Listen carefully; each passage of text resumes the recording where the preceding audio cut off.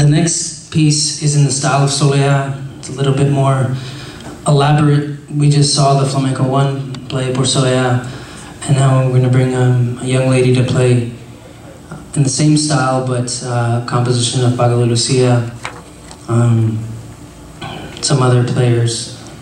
But anyways, um, this young lady has really skyrocketed um, in my program. She really leads the way. She's only a sophomore, and um, she never complains to me. she's well behaved around me. No, but she's a very passionate young lady about what she's what she's doing, and you're going to see that right now. So, um, again, um, a privilege to have her as my student. Um, please welcome La Rubia, or Hannah, if you want, for those of you that know who she is, La Rubia, meaning the blonde girl.